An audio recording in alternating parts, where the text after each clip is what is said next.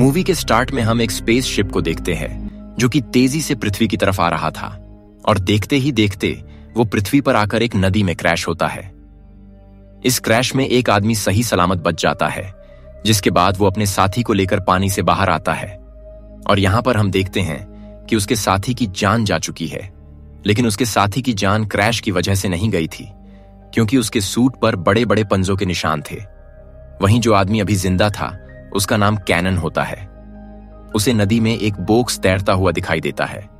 दरअसल उसमें एक कंप्यूटर होता है, और वो कोई नॉर्मल कंप्यूटर नहीं होता, बल्कि वो एक बेकैप कंप्यूटर था, जो कि उसे इस जगह के बारे में इंफॉर्मेशन देता है, जहाँ उनका ये एयरक्राफ्ट क्रैश हुआ था। कंप्यूटर इस जगह की सारी इंफॉर्मेशन कैनन के दिमाग में डाल देता है। दरअसल कैनन कोई इंसान नहीं होता, बल्कि वो एलियन होता है, जो किसी और ही प्लेनेट से पृथ्वी पर आकर क्रैश हो गया था। बहुत सारी इंफॉर्मेशन के साथ साथ वो कंप्यूटर उसके दिमाग में यहाँ की लैंग्वेज भी ट्रांसफ़र कर देता है। खैर, अब इसके बाद वो अपना हथियार उठाता है। वो जंगल में जाने लगता है और वो चलते चलते एक गाँव में पहुँच जाता है। इस गाँव में सब कुछ तबाह हो रखा था। फिर उसकी नज़र एक दीवार पर पड़ती है, जिस पर कुछ पंजों के निशान थे और उस लकड़ी की दीवार पर बने पंजों के निशान को देखकर साफ़ हो जाता है। कि ये निशान पृथ्वी के किसी भी जानवर का नहीं हो सकता, क्योंकि कैनन ये देखकर समझ जाता है कि ऐसे जानवर उसकी दुनिया में होते हैं। फिर अचानक से कैनन पर कोई हमला करता है और उसकी गन नदी में गिर जाती है, और इससे वो भी बेहोश हो जाता है। उस पर हमला करने वाला इंसान किसी दूसरे गाँव का शख्स था। उसका नाम बुलफ्रीक था। दरअसल, ये दौर आयरन एज का था, और आयरन एज में लोग गाँव और कबीलों के रूप में रहा करते थे। वो लोग अक्सर एक दूसरे पर हमला किया करते थे, जो कि एक आम बात थी, केनन को बाँध कर अपने गाँव में ले आता है। क्योंकि वो गाँव के बर्बाद होने का जिम्मेदार केनन को समझ रहा था। उसे लगता है कि शायद गाँव की इतनी बुरी हालत इसी की वजह से हुई है। इस गाँव का किंग, जिसका नाम रौतकर होता है, उसकी एक बेटी भी होती है, जिसका नाम फ्रेया होता है। और बुलफ्रिक उसी बादशाह का नेफ्यू यानी भतीजा था, और क्योंकि अगला राजा बुलफ्रिक ही बनेगा। इसलिए राजा अपनी बेटी फैया की शादी उससे कराना चाहता था। लेकिन फ्रेया इसके लिए राज़ी नहीं होती, क्योंकि बुलफ्रिक के जो फादर थे, वो काफ़ी बुरे और झगड़ालू किस्म के इंसान थे, और अपनी इन्हीं बेवकूफियों की वजह से उन्होंने एक जंग में अपनी जान गंवा दी थी।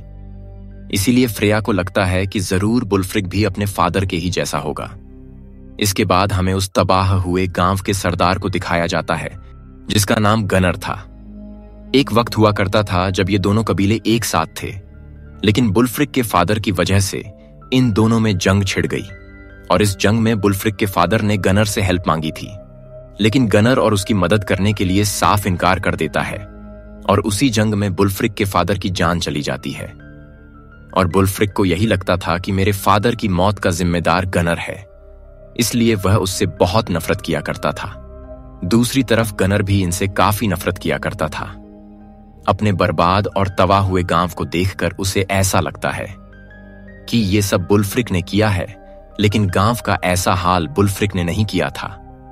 खैर, अब इसके बाद बादशाह कैनन से सवाल करते हैं कि वो कहाँ से आया है, लेकिन कैनन उन्हें यह नहीं बताता कि वो इस ग्रह का नहीं है, बल्कि उन्हें यह बताता है कि वो बहुत दूर से आया है।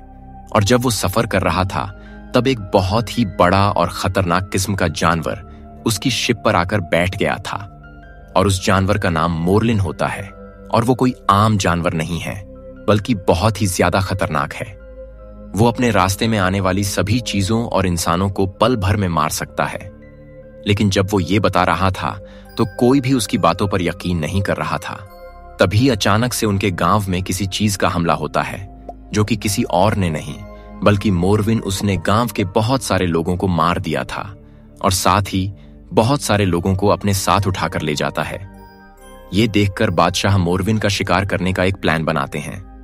वो अपने कुछ सिपाहियों को इकट्ठा करते हैं और साथ में कैनन को लेकर जंगल में चले जाते हैं ताकि मोरविन का शिकार कर सके। अब कुछ दूर आगे जाने पर उन्हें इतनी बड़ी गुफा दिखाई देती है। वो उसके अंदर चले जाते हैं और जब भी ये लोग वहाँ खड़े होते हैं, तब अचानक से कोई चीज़ बादशाह के ऊपर हमला करती है। दरअसल वो एक बहुत ही बड़ा भालू था।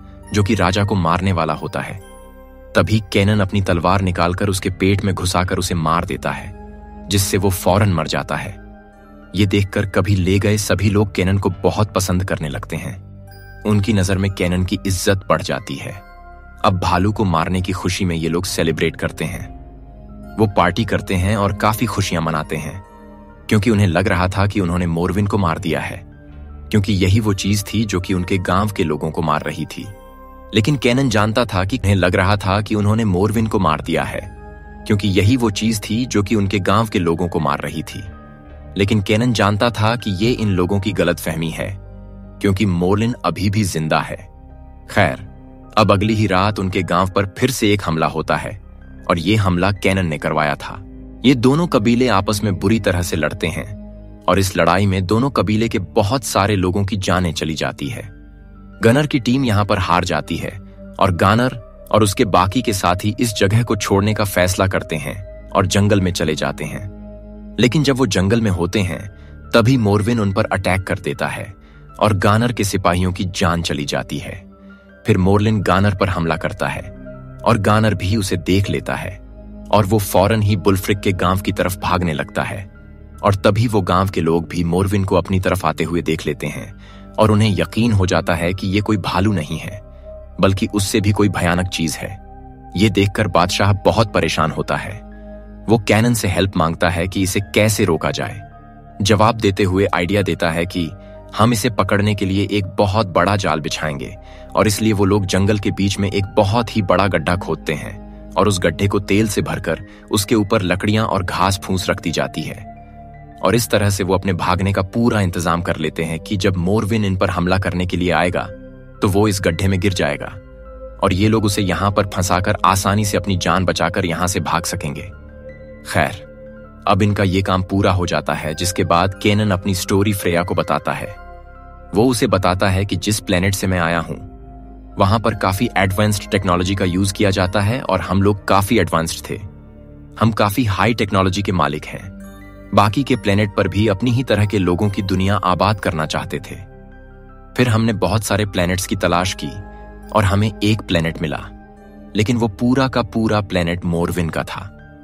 वहाँ पर सिर्फ़ मोरविन का ही राज था। मोरविन साइज़ में काफ़ी बड़े और खतरनाक जानवर होते हैं। लेकिन वो किसी को नुकसान नहीं पहुंचाते थे, क्योंकि वो घास खाने वाले क्रिएचर थे। हम उस प्लेनेट पर बस जाते हैं और अपनी ज़िंदगी गुजारने लगते हैं। हमें बाकी के भी प्लेनेट पर लोगों को बचाना था। इसीलिए हम मोरविन को मारने का फैसला लेते हैं। हम लोग मोरविन को एक नॉर्मल सा जानवर समझते थे। हमें उसके खतरे का कोई अंदाज़ा नहीं था। इसके बाद हमारे लोग मोरविन के प्लेनेट पर जाकर उन पर हमला कर देते हैं। हमने उन पर न्यूक्लियर हमले किए जिसमें सारे मोरविन मारे गए। वो प्लेनेट मोरविन की आबादी से एकदम साफ़ हो चुका था। और उसके बाद हम लोग अपने जैसे लोगों की दुनिया वहाँ पर आबाद कर देते हैं। इस प्लेनेट पर कैनन की फैमिली भी रहना शुरू हो जाती है। लेकिन एक बार कैनन को अपने मिशन पर जाना था।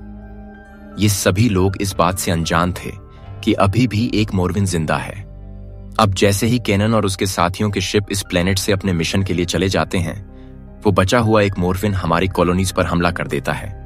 क्योंकि उस मोरविन को इस प्लेनेट और अपने साथियों को खोने का बहुत गुस्सा था। वो अपना बदला लेना चाहता था। वो यहाँ पर बसे सभी लोगों को मार देता है। और हर एक चीज़ को तबाह कर देता है।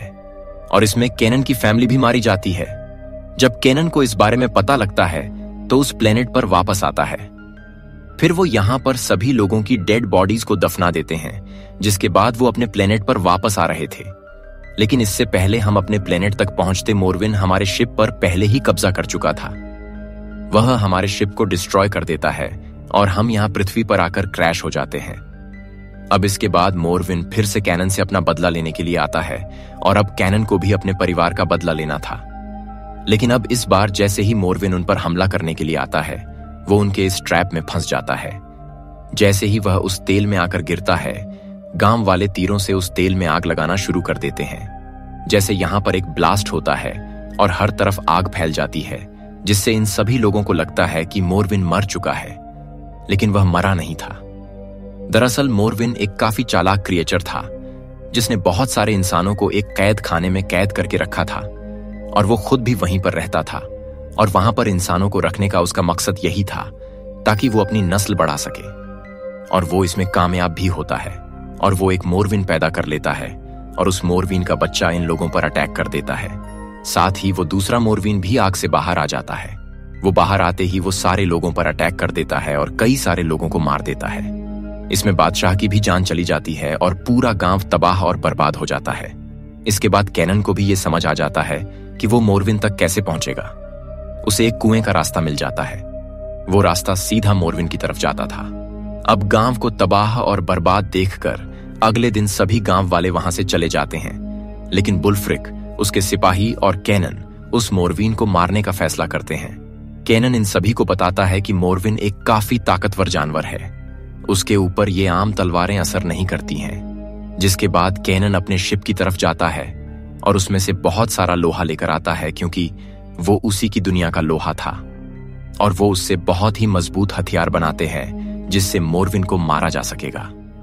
इसके बाद ये लोग कुएँ में उतर जाते हैं और आगे जाकर ये देखते हैं कि मोरविन ने अपनी उस जगह पर बहुत सारे लोगों को इकट्ठा करके रखा था और वो उनसे अपने जैसे बहुत सारे मोरविन पैदा करवा रहा था।